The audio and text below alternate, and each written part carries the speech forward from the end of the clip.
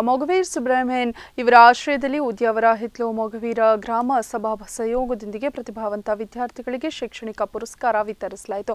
ಉದ್ಯಾವರ ಪಿತ್ರೋಡಿಯ ದತ್ತಾತ್ರೇಯ ಭಜನಾ ಮಂದಿರ ಸಭಾಂಗಣದಲ್ಲಿ ನಡೆದಂತಹ ಕಾರ್ಯಕ್ರಮದಲ್ಲಿ ಗ್ರಾಮ ಸಭಾ ಅಧ್ಯಕ್ಷರಾದಂತಹ ಎಂ ಬಾಲರಾಜ್ ಸೇರಿದಂತೆ ಮತ್ತಿತರರು ಪ್ರಶಸ್ತಿಯನ್ನು ವಿತರಿಸಿದರು. ಮೊಗವೀರ ಸಂಘದ ಪ್ರತಿಭಾನ್ವಿತ ಹದಿನಾಲ್ಕು ವಿದ್ಯಾರ್ಥಿಗಳಿಗೆ ಪ್ರತಿಭಾ ಪುರಸ್ಕಾರವನ್ನು ವಿತರಿಸಲಾಯಿತು. ಸಮಾಜದ ಪ್ರತಿಭಾನ್ವಿತ ಪ್ರತಿಭೆ ಸ್ವರೂಪ್ ಮೊಗವೀರ ಗ್ರಾಮ ಸಭಾದ ಅಧ್ಯಕ್ಷೆ ಬಾಲರಾಜ್ ಪಿತ್ರೋಡಿ ಹದಿನಾಲ್ಕು ಪಾಟ್ನಾ ಮೊಘವೀರ ಮಹಾಜನ ಸಂಘದ ಉಪಾಧ್ಯಕ್ಷ ಜಗನ್ನಾಥ್ ಕೈಡೈಕರ್ ಇವರನ್ನ ಸನ್ಮಾನಿಸಲಾಯಿತು. ಮೊಗವೀರ ಬ್ಯಾರಿನ್ ಸ್ಥಾಪಕ ಸದಸ್ಯರಾದಂತಹ ಜಗನ್ನಾಥ್ ಕಡೈಕರ್ ಮಾತನಾಡಿ ಮೊಗವೀರ್ಸ್ ಬ್ಯಾರಿನ್ ಸಂಘವು ಹೊರದೇಶದಲ್ಲಿದ್ದು ಈ ಭಾಗದ ಸಮಾಜದ ಅಶಕ್ತರಿಗೆ ಸಹಾಯವನ್ನು ಮಾಡ್ತಾ ಬಂದಿದೆ. ಇದೇ ರೀತಿ ಪ್ರತಿಭಾನ್ವಿತ ವಿದ್ಯಾರ್ಥಿಗಳನ್ನು ಗುರುತಿಸಿ ಪ್ರತಿಭಾ ಪುರಸ್ಕಾರವನ್ನು ನೀಡ್ತಾ ಬಂದಿದೆ. ಹೇಗೆ ಇರು, ಎಲ್ಲೇ ಇರು, ಎಂದೆಂದಿಗೂ ಮೊಗವೀರರಾಗಿರು ಎನ್ನುವ ಆಶಯದೊಂದಿಗೆ ಬಂಧುತ್ವವನ್ನು ವೃದ್ಧಿಸಿಕೊಂಡು ಬರ್ತಾ ಇದೆ. ಎಲ್ಲ ಮೊಗವೀರರನ್ನ ಬಂಧುಗಳು ಎನಿಸಿಕೊಂಡು ಅವರನ್ನು ಸದಾ ಹುರಿದುಂಬಿಸುವುದೇ ಈ ಸಂಘಟನೆಯ ಉದ್ದೇಶ ಎಂದಿದ್ದಾರೆ.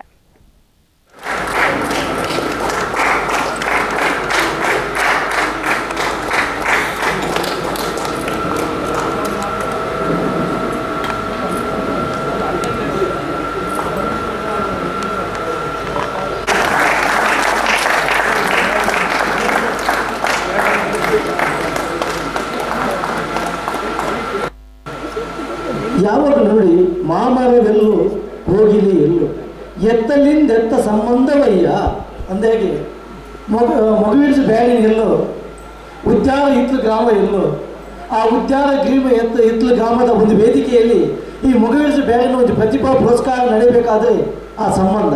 ಅದಕ್ಕೆ ಹೇಳ್ತಾರೆ, ಈ ಸಂಬಂಧವನ್ನು ಯಾರು ಏನು ಮಾಡಲಿಕ್ಕಾಗೋದಿಲ್ಲ. ಸಂಬಂಧ, ನಾವು ಹೇಳ್ತೇವೆ marriage be held in heaven ಅಂತ.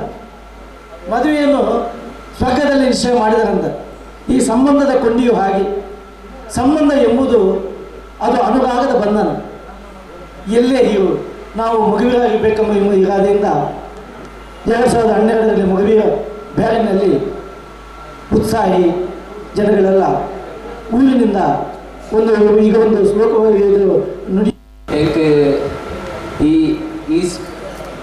ಪ್ರೈಸ್ ಗೆದ್ದವರಿಗೆ ಸಹಾಯ ಮಂದಿನ ಯಾನ್ ನಂಬಿನ